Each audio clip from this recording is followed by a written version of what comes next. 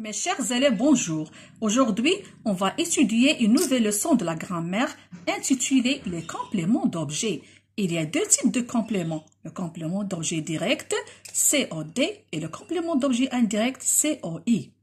Pour connaître le complément d'objet direct, je vais prendre deux exemples. Donc Leïla appelle son ami. Pour chercher le sujet, je pose la question qui est-ce qui appelle son ami? C'est Leïla. Donc Leïla, c'est un sujet, c'est un nom propre.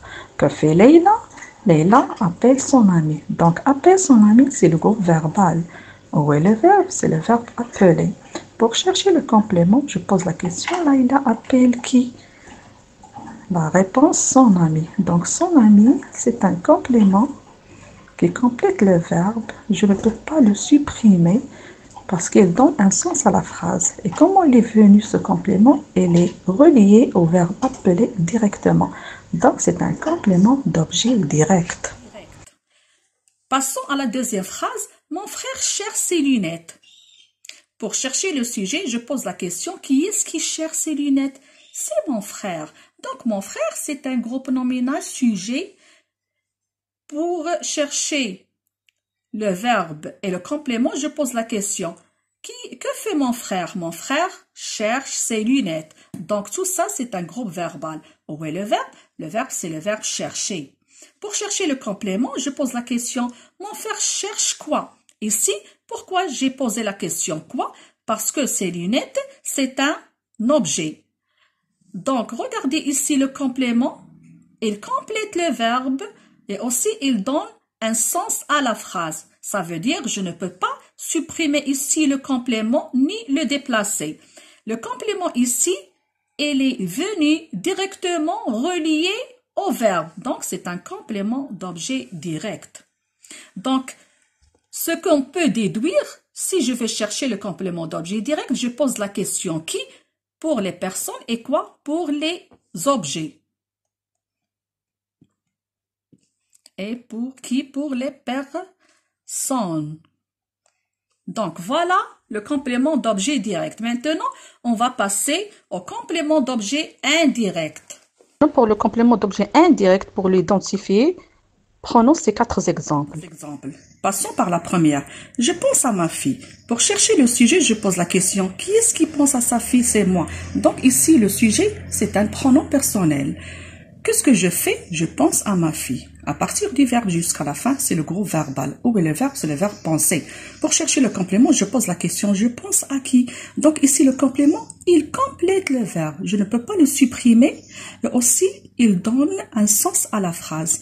Et je ne peux pas le déplacer, donc il est très essentiel et obligatoire. Je ne peux ni le supprimer ni le déplacer. À ma fille, le complément ici, il est introduit par une préposition. Donc, c'est un complément d'objet indirect où j'ai posé la question à qui pour le trouver. La deuxième phrase. Les enfants ont rêvé de leurs parents. Le sujet, c'est les enfants. C'est un groupe nominal sujet.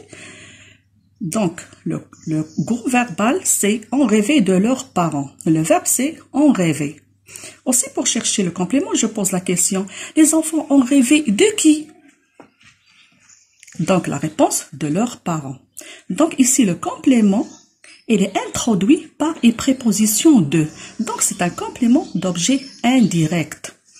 La troisième phrase, les invités ont assisté à une fête. Où est le sujet? Les invités. Où est le groupe verbal? C'est ont assisté à une fête. Le verbe c'est ont assisté. Pour chercher le complément, je pose la question, les invités ont assisté à quoi? Pourquoi j'ai pensé à quoi? Parce qu'une fête, c'est une chose. Donc ici, le complément, il est introduit à l'aide d'une préposition qui les sépare du verbe. Donc, c'est un complément d'objet indirect. Nous parlons de notre voyage. Donc, le sujet, c'est nous. C'est un pronom personnel. À partir du verbe jusqu'à la fin, c'est le groupe verbal. Où est le verbe? C'est le verbe parler. Pour chercher le complément, je pose la question, nous parlons de quoi? Donc la réponse, c'est de notre voyage. Le complément ici, il est introduit par une préposition qui le sépare du verbe. Donc c'est un complément d'objet indirect. Donc ce qu'on peut, on peut déduire que pour chercher le complément d'objet indirect, je pose la question à qui, de qui, À quoi ou bien de quoi? Donc, toujours qui, elle est précédée d'une préposition. Mais il n'y a pas seulement à ou bien de. Il y en a d'autres prépositions comme par, pour, avec, sans, chez, etc.